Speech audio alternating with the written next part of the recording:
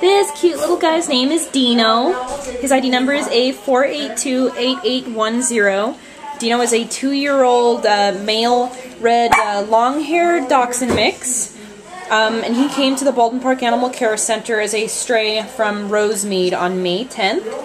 Um, Dino weighs about seven and a half pounds. Um, he's here in the medical building. Um, we're not exactly sure what the medical issue is, but the uh, treatment right now is that he needs strict cage rest, which just means that if he's adopted or rescued, he just needs to be in a cage for about a month so that he can heal.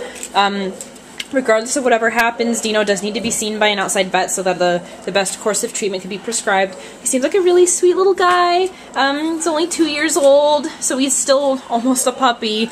Um, he's very small, he's gorgeous. Um, we don't know a whole lot else about him because we, we can't really take him out to let him walk around since he needs his cage rest, and we don't want to mess up with any healing process. So um, if you're looking for an adorable little long-haired dachshund, um, Dino is back in the medical building. Just asked to look for him with his ID number. Um, he's available for adoption now the Baldwin Park Animal Care Center. So uh, come and give him a chance. Um, once he heals, I'm sure he's going to be a happy-go-lucky puppy with lots of love and, and, and everything to share with you. Bye, Dino!